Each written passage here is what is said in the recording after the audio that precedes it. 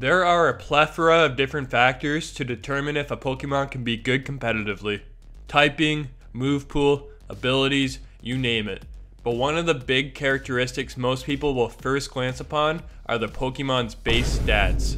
Base stats give a rough idea on how a Pokemon will perform, what kind of moves it should use, and its role on a team. Bulky Pokemon generally have higher HP and defense stats, while more offensive Pokemon will have higher attacking stats. Speed determines turn order, giving Pokemon with a higher speed stat more usefulness most of the time. But there are certain cases we see where Pokemon with a lower base stat total thrive competitively. And not just in PU and ZU, where the power level drops considerably, they have seen play and usefulness in actual competitive formats, whether that be in VGC or higher Smogon tiers like OU and Ubers. In this video, we're going to look at some of these mons who managed to find use despite not being well equipped statistically. I'm going to define low base stat total by any Pokemon with a BST of 405 or under. I was originally going to stick to 400, but there are a few Pokemon right at 405 I think deserve to be mentioned.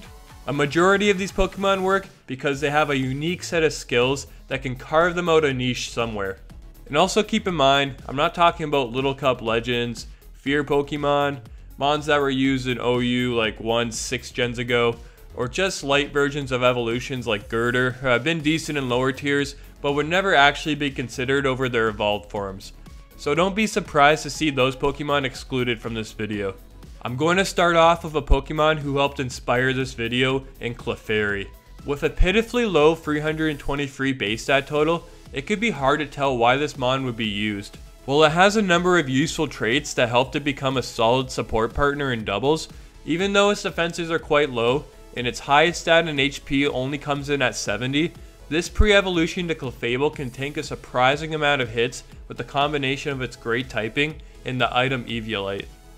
Redirection is something that doesn't exist in singles, but in doubles it can be very important for taking moves meant to target a certain Pokemon and pulling them towards the other slot. Clefairy does this with the move Follow Me. It can choose other great support moves depending on the team structure. Along with Follow Me, the move Helping Hand is a popular choice to boost the power of its teammates' moves. The great thing is these both have priority, so Clefairy's terrible 35 base speed isn't an issue here. Speaking of speed, the move Icy Wind is commonly ran as well, which does a little bit of damage to break sashes and sturdy while lowering both opponents' speed by one stage.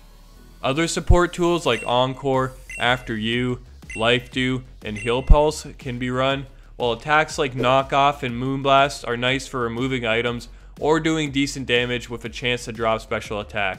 These traits make Clefairy a great support Pokemon, but why use it over the fully evolved Clefable? It has access to these same support moves and can hit harder with its good special attack. The bulk with Eviolite isn't too much of a difference, and Clefable can use a different item like Leftovers for passive recovery. While the main difference is when Clefairy evolves into Clefable, its hidden ability Friend Guard turns into Unaware. Definitely better for Clefable in singles, but in VGC, Friend Guard is an amazing support ability. It reduces the damage allies take from attacks by 25%. This in itself makes Clefairy super useful, as you are giving extra bulk to every ally when active. Another detail I should mention is that item clause exists in doubles. This restricts you to one of each item and with Clefairy holding Eviolite, you'll have more flexibility to put an item like Leftovers, Sitrus Berry, or Rocky Helmet you'd see on Clefable onto a different mon. These types of unique characteristics led to Clefairy being a preferred choice in this format. Another Pokemon that's seen unique circumstances fall in its favor is Murkrow. Having a bit of a higher base stat total than Clefairy, Murkrow reaches the 405 threshold I set for myself which is still pretty low considering it often sees more use than Pokemon with 1 to 200 more base stat points. Like Clefairy, this Pokemon's unique traits allow it to carve out a niche as a premier support option in doubles. It has considerably less offensive presence than its evolution, and as a support option, its defensive stats being this unimpressive bunch leaves much to be desired. But thanks to its prankster ability, Murkrow is still able to work, with access to the amazing Prankster Tailwind combo, alongside other great support tools like Thunderwave, Sunny Day, Haze, Quash, and Icy Wind, Murkrow is great at dictating speed control. Eviolite makes it bulky enough to take some hits, while it can also use moves like Feather Dance and Snarl to make itself and its allies bulkier by virtue of lowering its opponent's stats. Keep in mind that Murkrow actually has a pretty solid speed and respectable attacking stats, so even non-status moves have a good shot of going first. It can threaten big damage with Foul Play, which is based off the opponent's attacking stat, meaning you don't have to dip into your EV reserve to secure certain damage rolls. A strong move like Stab Brave Bird is powerful enough to take out what it would need to without investment. Being Dark type also makes it immune to opposing Prankster moves, giving it some more utility, alongside being an Earthquake immunity and Psychic switch in. I'd also like to mention Sableye in the same conversation. With an even lower base stat total of just 380, this Pokemon fries off its amazing type combination alongside the Prankster ability with great support moves. It carries different tools than Murkrow, so it really depends on what your team is looking for support-wise. With Out, Encore, Will-O-Wisp, Gravity, and Disable over Murkrow, we see some enticing options you can cook with. It has better defensive stats, but lacks the ability to hold Eviolite. This does open it up to run items like Light Clay for dual screen sets, which makes the team bulkier as a whole. It can also use Foul Play for damage, set up Prankster Weather, and just cause some shenanigans that disrupt the opponent's game plan. It can be used as support in many single tiers as well, notably Gen 5 Ubers. Definitely a good support option that offers something different than the previously mentioned Pokemon. As you can tell, most of these Pokemon thrive in doubles as support Pokemon, and we'll get into a few singles based Pokemon in a little. But I'm going to talk about the Pokemon who likely has the lowest base stat total to total usefulness ratio in all of Pokemon. You probably guessed it, but I'm talking about Smeargle. This Pokemon actually has had success in singles and doubles, as it has access to virtually every single move in the Pokemon universe. This is of course balanced out by having an abysmal 250 base stat total. The only decent stat this Pokemon has is its base 75 speed, which isn't even impressive by any means. Its bulk and offenses are garbage, and the normal typing is nothing special. Yet, having very few limitations to its move pool allows it to have a huge impact on metas throughout the generations. Common moves we see in both singles and doubles are Spore, Nuzzle, and Dark Void when it was usable, while Smeargle almost never leaves home without its Focus Sash to be able to do what it does. In singles, it started as a baton pass chain staple when that trash was legal, passing stat boosts to his teammates, but later transitioned to a lead, utilizing its ability to sleep the opponent and set up entry hazards to give its team a massive advantage throughout the game. It could smash pass and Ubers, where giving any one of these offensive powerhouses speed and attack is deadly. And as the generations go on and more strong moves are introduced, Smeargle just gets more tools.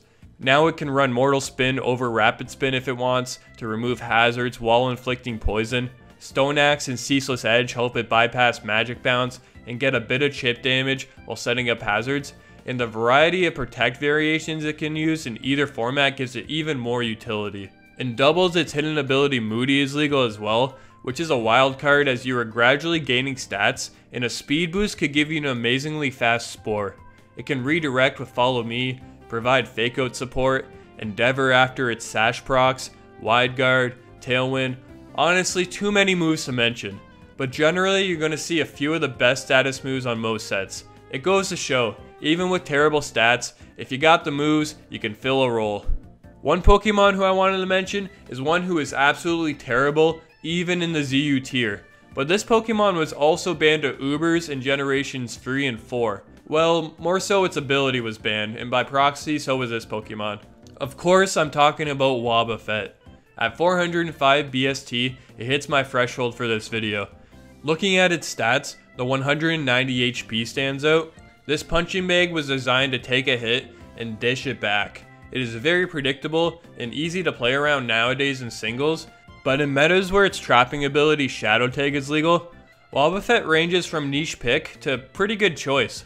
The ability to trap opposing Pokemon, encore them into a move, and subsequently KO them with counter or mirror gives Wobbuffet a role on teams that want to deal with problem Pokemon. This is typically a one for one mon, as Wobbuffet lacks recovery, and its low defenses mean it will take a lot of damage despite its high HP. I mean, that's kind of its gimmick. You lose a lot of HP to secure KOs. It can stop Pokemon like Geomancy Xerneas from sweeping, as a specially defensive variant can take a plus 2 Moonblast and KO in return. Berry can be held for priority Destiny Bond to try to cheese a second KO. And Encore in general can be used to make your opponent's setup fodder. Wobbuffet is definitely an interesting mon with low base stats, but the fact that it at least had a place in a few generations Uber tiers is impressive to say the least. Now this last one for the list could be considered a cop-out, but I'm going to include Ditto here. At 288 BST, this Pokemon is rocking a 48 in every base stat. Ditto was downright terrible from its debut generation until Generation 5 when it finally received the signature ability Imposter. Imposter pretty much lets Ditto skip the buffer turn it previously needed to use the move Transform, allowing it to copy the opposing Pokemon stats besides HP, any stat changes, and all moves with 5 PP in each. Ditto drops to the lowest tier in every generation, but it's a Pokemon whose usefulness is mirrored by the Pokemon it can copy. As primarily a revenge killer, Ditto more often than not equips a Choice Scarf to usually outspeed whoever it's copying and threaten them with their own moves.